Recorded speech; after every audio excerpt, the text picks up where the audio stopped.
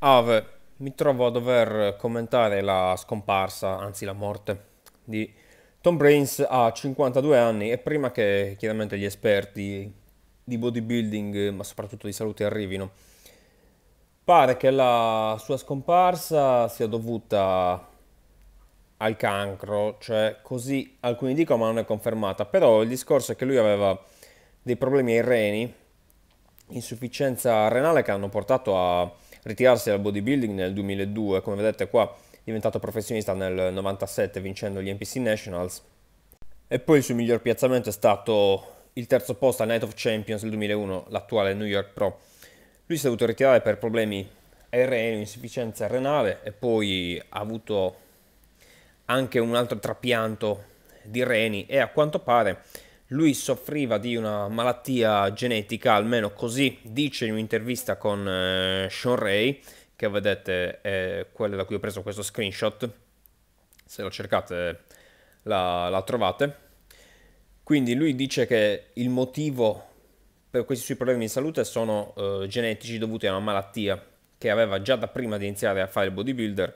Poi Sean Ray gli dice ma com'è possibile tutti voi che vi allenavate con Chad Nichols l'attuale preparatore di Big Ramy per la cronaca, è preparatore all'epoca di anche Ronnie Coleman e di altri. Avete avuto tutti questi problemi, questa è la routine che gli ha fatto vincere gli NPC National 97 per la cronaca.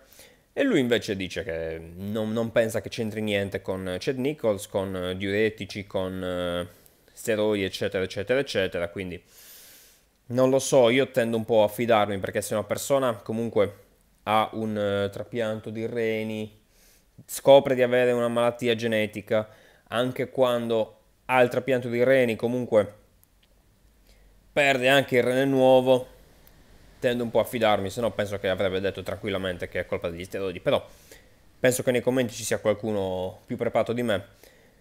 E questo video si ricollega un po' a quello che ho fatto sabato anche su Chris Cormier perché ho parlato di come fossero competitivi gli anni 90 e primi anni 2000 che chiaramente non ha guardato nessuno. Penso che questo video verrà guardato da più persone perché alle persone come sempre non interessa il bodybuilding, interessano queste notizie qui per poter fare gli esperti nei, nei commenti, però questo è uno dei motivi per cui il bodybuilding non avrà mai seguito in Italia perché interessa solo questo tipo di video purtroppo è chiaramente io parlo di bodybuilding a 360 gradi, quindi commento sia i video tipo quello che ho fatto sabato su Chris Cormier che non ha guardato nessuno, così come questo video sulla morte di Tom Prince, che dopo il ritiro si era concentrato sul mercato immobiliare, praticamente facevano più o meno gli amministratori di condominio con la moglie, una società di management di immobili, ed era secondo me un, eh, un ottimo bodybuilder ed è sempre il solito discorso.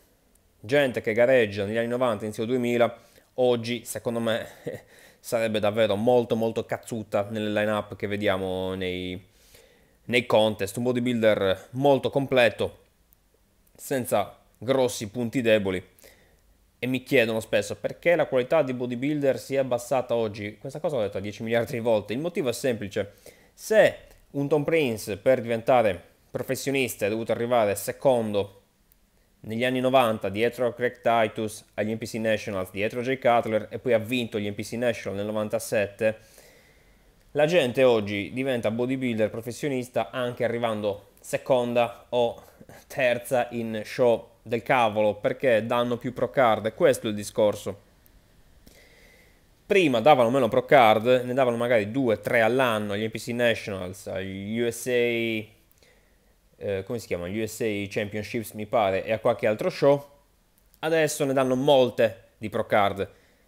Prima c'erano meno pro card, di conseguenza emergeva la crema, va da sé. Questa è una routine del 96 che secondo me è superiore rispetto a quella del, del 97, forse anche la questione di luci, cioè Davvero un bel bodybuilder, eh, dispiace che abbia avuto questi problemi. Come detto, la notizia della morte per cancro non è confermata, però l'hanno detta un po' di persone, quindi sono ipotesi, però va da sé che aveva dei problemi ai reni, è rimasto in dialisi per eh, tantissimi anni. Eh, se capite l'inglese guardate quell'intervista con eh, Sean Ray perché è molto, molto interessante, poi ce ne sono anche con Dave Palumbo su RX Muscle. Quindi questo è giusto un, un saluto, eh, un commento da parte mia, perché io comunque commento il, il bodybuilding e mi dispiace che questi video attirino più rispetto agli altri che faccio, tipo quello che ho fatto sabato, non per farlo vedere, ma perché è così. Buona?